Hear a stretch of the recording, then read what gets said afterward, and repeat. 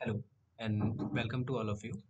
So this is our application credit card validator. What does this does? This checks whether a given credit card number is valid or not and uh, gives back a voice command whether it is valid or not. The main theme of this project is that we can integrate it in our web pages, websites and Android applications to make the form filling more easier and uh, compatible for the users. So we are just going to check whether a card number is valid or not. I am going to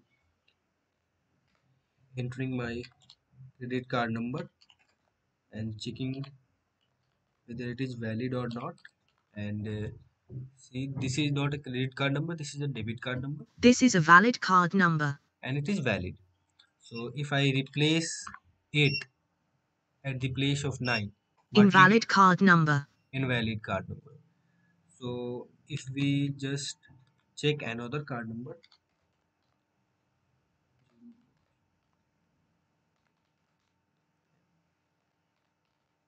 we are going to check This is a valid card number. valid. if we remove 6 and place 5 at Invalid card number.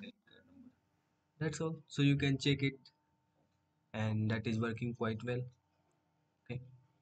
Have a nice day